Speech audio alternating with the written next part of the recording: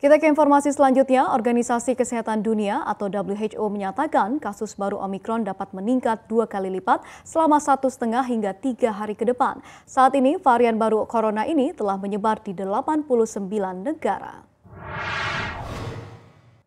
WHO menyebutkan Omikron telah menyebar dengan cepat di negara-negara dengan tingkat kekebalan populasi yang tinggi.